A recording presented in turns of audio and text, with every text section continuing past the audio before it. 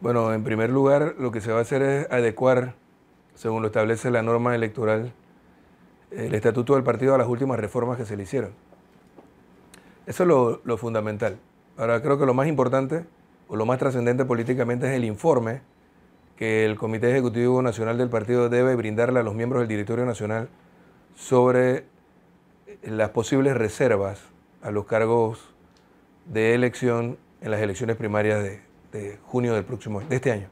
La decisión no, está en firme, pero ya trascendió de que en efecto en una primera reunión donde se analizaron los cargos de eh, diputado de los 71 espacios, se ha pretendido o se está pretendiendo reservar 52, no solo a los 35 diputados actuales, sino 17 cargos adicionales.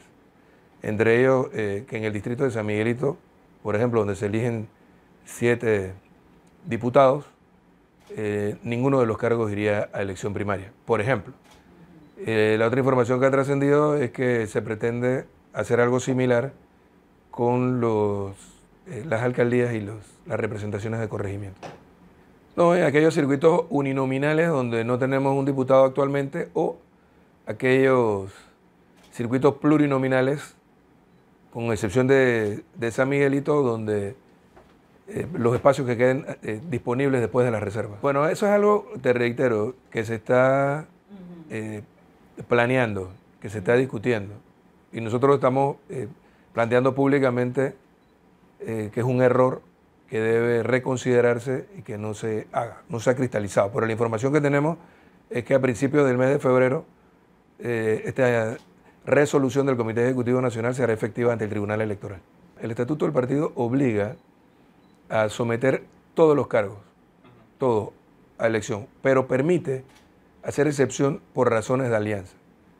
Ahora, hay una nueva norma que subrepticiamente se aprobó en el código sin, sin mayor debate, sin comunicación a las instancias del partido, eh, que establece que se pueden reservar en virtud de esa capacidad que tiene el Comité Ejecutivo Nacional para reservar para alianza, se puede reservar hasta el 40%. Y eso están agarrando de esa norma para hacer excepciones, obviamente para otros propósitos que no es para alianza. Cuando tú pretendes darle pase libre sin ir a unas primarias a los actuales diputados, alcaldes o representantes, evidentemente estás burlando lo que establece el estatuto del partido, utilizando esta disposición del Código Electoral. Bueno, eso todavía está por verse, pero se ha comentado que los dos principales distritos, los que más población tienen y mayor cantidad de inscritos, tienen también, por ejemplo, el distrito de Panamá o el de San Miguelito, que en ambos no habría elecciones primarias. Yo creo que el presidente fue mal aconsejado. O sea, se estableció una, se hizo una solicitud que iba mucho más allá de lo que establece la ley. Y lo que predomina en un Estado de Derecho es la ley. La novedad que hay es que los funcionarios que históricamente han tenido que renunciar seis meses antes de las elecciones, ahora tendrían que hacerlo cinco días después de que su postulación, sea publicada por el boletín electoral. O sea, el 15 de enero es mucho más de dos meses antes de lo que establece la ley. Y obviamente todos se están sujetando, empezando con el vicepresidente de la República, que supuestamente quiere ser candidato a presidente y que es ministro de la presidencia y debería renunciar ya se ha dicho que va a esperar hasta el momento en que indique la ley. De modo que esa manifestación del Ejecutivo o ese planteamiento que se endosa al presidente de la República eh, fue un error que además le ha restado autoridad.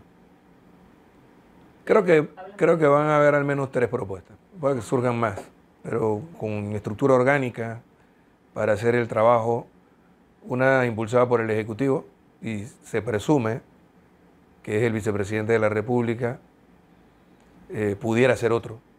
Creo que si lo piensan mejor, debiera ser otro, si quieren tener algún chance de éxito. la otra candidatura que tiene mucho más arraigo que, que, la del vicepresidente popular dentro del partido es la del presidente de la Asamblea, Cristiano Adame, y la que estaremos presentando desde el movimiento de base para el rescate nacional eh, a finales del mes de febrero, principios del mes de marzo. Dentro del término que establece el reglamento de elecciones, nuestro movimiento va a presentar una precandidatura presidencial para competir con las otras dos.